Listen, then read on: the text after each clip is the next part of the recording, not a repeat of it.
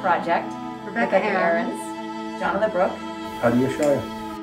We thought, well, how can we do something where we play all the instruments we play, we are layering and basically creating a whole band out of just the three of us.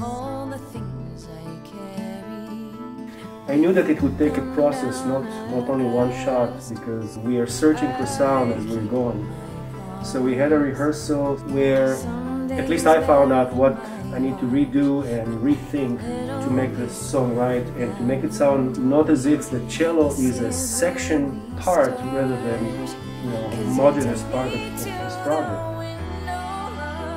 For me, it's super exciting because, you know, I wrote the song and I get to sing it, but these two bring all of these other colors to my composition that I wouldn't have heard by myself. So that's the Cello Songs Project.